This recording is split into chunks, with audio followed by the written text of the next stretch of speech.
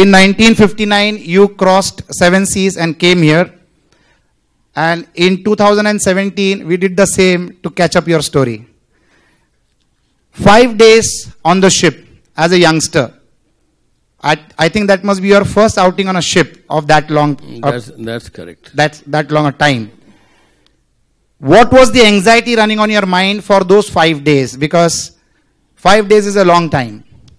But before that, let me tell you something very interesting about the pre- preceding uh, session which you had. Uh, we are talking about inspira- inspiring. uh, Inspiring conversations. But I could see that when, when you said that uh, gold will go on rising in prices, and the only thing is what we need to buy is uh, real, Real estate, because yeah, I'm not a goldsmith. I'm a real estate guy. So So, so, so uh, I, I'm sure that must have inspired everybody. that is the objective. And you missed out a very interesting. You missed out a very interesting uh, talk by the ma'am here. She heads a very prominent organization, and where she inspired the people so much that I know who's my first investor after the session. Uh, I mean, don't underestimate her. She is a lawyer. I, I could make out as to who would have made the speech. Absolutely, Yes, absolutely. yes, yes. You asked me as to what really. Uh, What was working on your mind? What was working in my mind? Nothing very seriously because at the age of 18 years, I, uh, I got um, the job overseas. Uh, I was in the ship, uh, quite relaxed, uh, not, no- nothing so serious, but uh, I knew that uh, I am going to Dubai to make my earning, uh, which will help me in taking care of my li- uh, family. Uh, nothing very serious, but on the way, definitely uh, one incident happened because the ship um, stopped in Karachi, in Muscat, uh, in Gwadar, and uh, finally coming to Dubai. And uh, Karachi, that is the place uh, uh, where I was born. Not in Karachi, but Hyderabad, which is uh, Sindh. uh, yes, Sindh, uh, and uh, so many people were um, just getting down to go into uh, the city. That I could not uh, do because uh, I had nobody to look to in Karachi, and also I had no visa and uh, no money to get out. Yeah. But that feeling I carried for uh, many days that uh, I went to the place where I was born, but I could not see it. But subsequently, last year, I, I got an opportunity to go, and uh, that was fully compensated. Fantastic. When you came to Dubai, you started with a salary of 125 rupees. Yes, I'm sure 125 rupees in 1959 was a big amount. was a good amount. It was a, it was an awesome amount, and you landed here when there were no roads, there were no motors, there was no power, there was no uh, potable water to drink, and was, it was uh, a very stiff situation. Did it cross your mind that I should go back? No, no, no. Uh, it, it never came to my mind to go back because I was living the way all all the people living here they were living. There was no electricity, and uh, as you said, there was no water. They used to bring uh, water on donkeys from far away, far away places, and uh, the water contained all the ingredients which were required to make you strong. Cockroaches, ants. ca- ca- cockroaches. so that built up your immunity system. Yes, sir. And uh, and after having uh, uh, taken Dubai water, when we returned to India, the Indian water never affected us. Fantastic. You saw the Dubai then. Then in 1959, 1960s, the Dubai had only in totality one kilometer of land. Half kilometer on the Bur Dubai side, half kilometer on the Deira side. Yes. Uh, it was Dubai. Whole town was half a kilometer. Only Meena Bazar part. Side, uh, no, no, no. Meena Bazar was not there. Okay. No, no, no. This this was uh, the other side of museum, and uh, and Deira also. Uh, it was uh, up to Nasir Square, half a kilometer. And since there was no telephone, we had to walk to everyone we wanted to meet. And by that way, we were meeting whole town. Uh, that means practically we, one could get in touch with uh, whole Dubai every day uh, without failure. And it was it was fun. It was uh, such uh, brotherly feeling. So Dubai didn't even have an airport then, and pe- letters coming in from India used to be delivered in Bahrain, and then from Bahrain they used to come into Dubai and from uh, Sharjah, not even Dubai, Sharjah, Letters. laters, Ah, and then from yes, Sharjah it yes, used to yes. come to you. Uh, we had no airport in Dubai. We had a small Royal Air Force uh, air base in uh, in Sharjah. Sharjah. The mail used to come by Gulf aviation flights, not Gulf Air, Gulf Aviation, from Bahrain to uh, Dubai, uh, from Bahrain to Sharjah. Sharjah. Then from Sharjah, those mail bags would come by Land Rover to Deira because there was no bridge also. So from Deira it would uh, cross by boat Dubai side because there was only one post office uh, that was on Dubai side. And uh, so no sooner the bag arrived, they will start sorting and very anxious faces. I mean, outside the post office you would find all the big names. Uh, where, I mean, foreigners, Indians, Pakistanis or local, they would uh, gather there, pick up one by one. I mean, every three minutes, four minutes, they will keep on opening the uh, post box. Like how we Uh, keep checking the WhatsApp these days. Yes, exactly. So you are Exa- ex- exactly, exactly. And uh, not only that, uh, they will uh, take out the letter, immediately start opening. There will be many letters uh, about Hawala business, but many letters would be would have come from uh, the families. Uh, somebody would would be waiting for a letter from his wife or brother or uh, I mean uh, I mean mother. It was, it was quite exciting. Uh, uh, So it was a great situation. networking opportunity for you. Yes, yes. you met yes, all yes. big people there. I'm sure exchanged ideas, and- and- and got more intelligent on business Twice a week. twice a week. Twice, twice a week. But earlier to that, uh, when post, there was no post office, they used to gather in the center of the town, and uh, the person who would bring the mail bag from Sharjah, he will open it and announce the names. Uh, Bindu, and if Bindu is there, she will collect the letter. Yeah, she's our next investor actually. If, and uh, if Bindu is not there, then Hemant will take away the letter.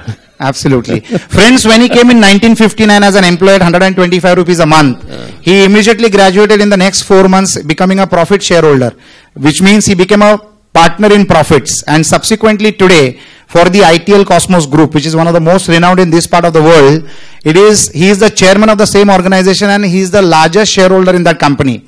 I think that was a phenomenal growth. And what is also interesting is there were only five post boxes before the sixth one was allotted to a person who was not from the origins of the land, and that was ITL Cosmos. So post box number six belongs to the ITL Cosmos group. Second history in this city for us to know, since Dr. Ram Buxani is originally an Indian, uh, his is the first company. ITL Cosmos is the first company which was given the decree or the license to do business by His Excellency Sheikh Rashid himself personally in 1953. His Highness. His Highness, 1953. 1958. 1958, the license was given. So the first license ever given to any outsider other than people who are locals was ITL Cosmos. Locals, uh, they did not uh, require anything. As a matter of fact, there was no culture of any licensing here. To do a business in Dubai was so simple. I mean, you would arrive in Dubai, hire a, a shop, and start the business. So what was that you did to impress your employer that he made you a partner in profits? No, no, no. I think I think he tried to impress me. Oh,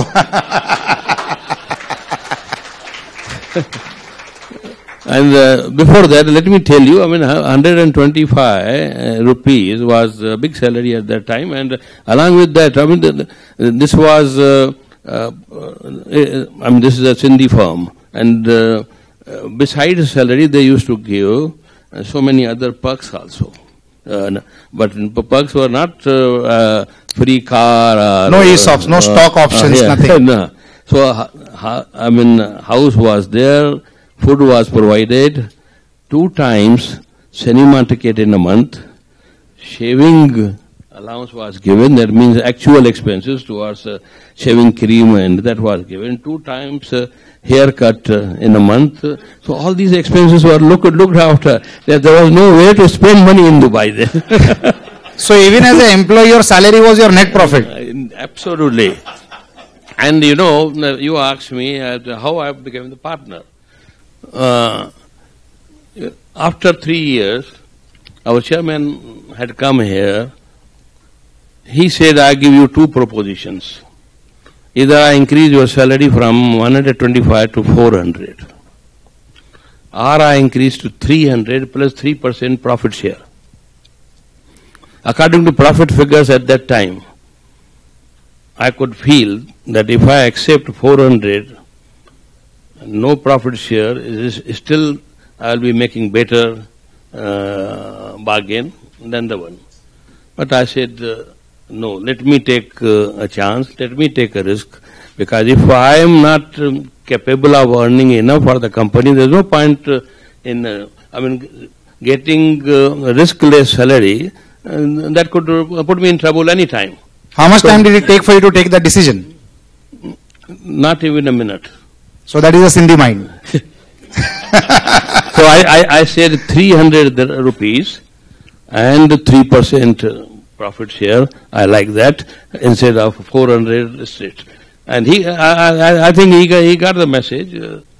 So I'm sure a lot of uh, a lot of us acknowledge and accept that Punjabi, Sindhi, Marwadi, Gujaratis are the best entrepreneurs India has produced, and we love emulating them. They are known across the world. Uh, you had a boss who was a Sindhi. You were also a Sindhi. So was there a mind war on who gets what from the efforts both are putting in? no, he, uh, he was getting better than me because he was senior. Was he also thinking the same thing? Yeah? Yeah. and, uh, uh, but, uh, I mean, this gives you a challenge that uh, if you are getting 3% profit share, you have to make 100 to qualify for 3. That means 97 goes to somebody, but uh, uh, I mean, uh, that should not bother anybody because, because a, a company who provides you uh, that opportunity, they deserve that. So I was not worried about 97. I was worried about 3. Fantastic, fantastic, fantastic. Dr. Buxani, you began the job with a company which was into textiles. Subsequently, a lot of scope of activities changed in Dubai. You all also went into diversification. What was your strategic planning or what was your strategic thinking whenever you took a decision of diversification into a new sector? I think in those days, one did not really uh, do any sort of planning so far items uh, in which you have to deal with. Anything which sells, sold, we could get into it. I remember we used to mm, deal in tomato paste from uh, Italy because tomato was not available, so we used to bring tomato paste. We used to import uh, agar agar, which is uh, China grass. huh? We used to import from uh, China and uh, orange juice. I mean, hundreds of thousands of cartoons we used to get from uh, uh, Japan and uh, mackerels from from China again. So there was no restriction about the items which we were dealing in. Uh, we started with textiles. That is very that is true, and uh, textile was coming mainly from uh, India and China and uh, America. Japan was not in picture at that time. So we were totally open to the items. Anything which, yes, we used to uh, deal in footwear from Italy. So anything which sell, sold, we can, there was no spe- specialization required. So Dubai was never a license Raj even then. No, no, no. So anybody could get the tomatoes and the shoes and the electronics and the textiles and all of that. And you how were how were you different from the market? You were sitting in the hotbed of the market. So what you could get is what all could get. How could you manage this phenomenal growth and how were you different by trading in the same products which others are doing as a competition to you? Ty- typical Sindhi style, less, less profit. How did you tackle? How did you tackle the other competitive Sindhis? Uh, I, I, I think there was room for all. So you made the room as a, you made the room into a hall, and the other room became bathrooms. I think because you grew the way nobody else grew. So I think I'm sure you must be having some They- strategy. they- they- they- I mean, uh, basically, on one side is growth, and then earning, and then expenditure. expenditure. Maybe we were little exp- uh, more- uh, we were little conservative in, on expenditure side.